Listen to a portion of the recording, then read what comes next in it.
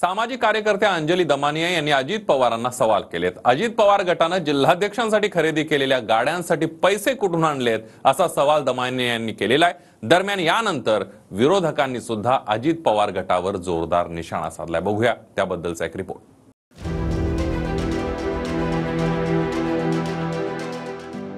Total ऐंशी गाड्या ह्या गिफ्ट म्हणून ज्या दिल्या तर कुठून आलेत? अंजली दमानेला एखादी गाडी पाहिजे असेल म्हणून तिने केलेलं ते वक्तव्य.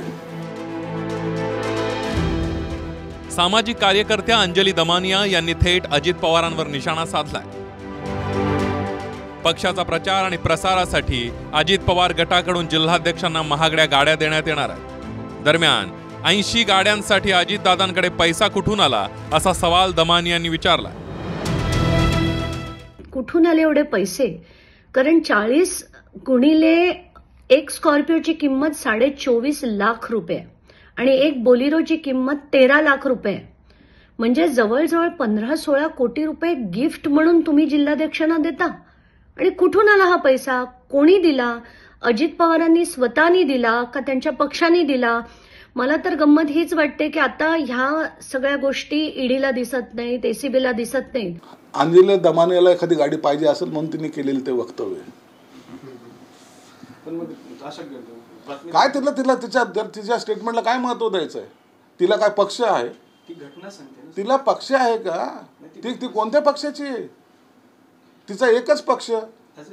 अरे कशासाठी काय? आप- काय त्याला आपण त्याच्यावर जास्त चर्चा करू नका. ते अंजली दमनिया ह्या अ, सामाजिक कामापेक्षा कुठल्या तरी व्यक्तीच्या अ, एका प्रेशरखाली किंवा एखादी सुपारी घेतल्यासारखं काम करत आहेत त्यांनी स्वतःला प्रश्न विचारला पाहिजे की आपण खरंच सामाजिक काम करतोय का? जाणीवपूर्वक राष्ट्रवादीला बदनाम करण्यासाठी अशा व्यक्तीला महाराष्ट्रामध्ये काही लोकांनी प्रोत्साहनपर बक्षीस देऊन पेरलेलं आहे.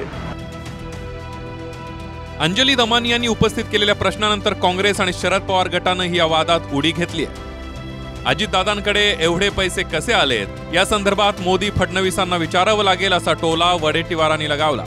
तर सुप्रिया सुळेंनी देखील वाहनांच्या मुद्द्यावरून भाजपवर निशाणा साधला.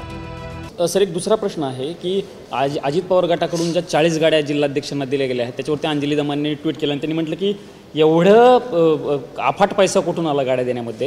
आणि तो प्रश्न उपस्थित केला कारण ती सगळे व्हिडिओ तुम्ही पण पाहिले असतील. ते ते मोदी साहेब आणि फडणवीस साहेबांना माहीत आहे. ज्या जे आरोप झाले ते भारतीय जनता पक्ष भ्रष्ट जुमला पार्टी ज्याचं नवीन नाव आहे आता तर त्यांना करावं. त्याच्यामुळे हा प्रश्न मला विचारायच्या ऐवजी तुम्ही आदरणीय माननीय देवेंद्रजी ज्यांनी आरोप राष्ट्रवादी काँग्रेस पक्ष आणि माननीय अजितदादांवर केले त्या देवेंद्र फडणवीसांना तुम्ही हे प्रश्न विचारले पाहिजेत. अजित पवार गटाकडून देण्यात येणाऱ्या गाड्यांमध्ये स्कॉर्पिओ आणि बोलेरो गाड्यांचा समावेश आहे. अजित पवार गटाकडून जिल्हाध्यक्षांसाठी ऐंशी गाड्यांचं बुकिंग करण्यात आलंय. चाळीस महिंद्रा स्कॉर्पिओ आणि चाळीस महिंद्रा बोलेरो बुक करण्यात आले महेंद्राच्या महिंद्राच्या स्कॉर्पिओ आणि बोलेरो गाड्यांचं टेस्टिंग सुरू आहे. पक्षाचा प्रचार आणि प्रसारासाठी या गाड्यांचा वापर केला जाणार आहे. गाड्यांच्या मुद्द्यावरून जितेंद्र आव्हाडांनी देखील अजित पवार गटावर निशाणा साधलाय. कार्यकर्ते पदाधिकाऱ्यांनी पळून जाऊ नये म्हणून गाडीला बांधून ठेवलंय असा टोला आव्हाडांनी लगावला. असं आहे की प्रत्येकाला गाडीला बांधून ठेवायचं म्हणजे पळून जाणार नाही. पळणाऱ्यांची भीती खूप आहे ना. कधी काय होईल सांगता येत नाही. निवडणुका जाहीर तर होऊ द्या मग बघा पळापळ. महिंद्रा कंपनीच्या चाळीसहून अधिक गाड्या ते काय चाळीस नाही चारशे घेतील. कालांतराने त्यांना प्रत्येक आमदाराला पण गाडी देणार आहेत. एक असं आहे की आम्ही एकत्रित असताना सुद्धा वाहनं दिली होती. त्यामुळे केवळ बोल घेवड्या आणि प्रतितीसाठी आपापलेला कोणाही व्यक्तीच्या वक्त्यावरती मी या ठिकाणी काय बोलू इच्छित नाही. अजित पवार गटानं जिल्हाध्यक्षांना महागड्या गाड्या देण्याचा निर्णय घेतलाय.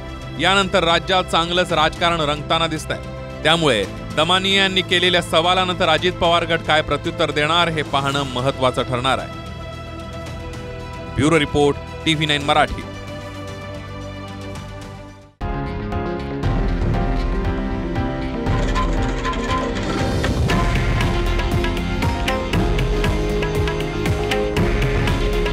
हे आहे देशातील नंबर वन न्यूज नेटवर्क. आणि आपण पाहत आहात टी व्ही नाईन मराठी. काळजी तुमची हित महाराष्ट्राचं.